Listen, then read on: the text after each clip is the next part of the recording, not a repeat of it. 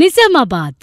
Lions Club of Bodhan వారిచే రెండవ branch నిజామాబాద్లో నెలకొల్పటం జరిగింది. ఇందులో ఇద్దరు కంటి వైద్యులు పదహారు మంది సాంకేతిక సిబ్బంది ఉచిత పరీక్షా శిబిరాల కొరకు ఒక వ్యాన్ కలిగి ఉన్నది.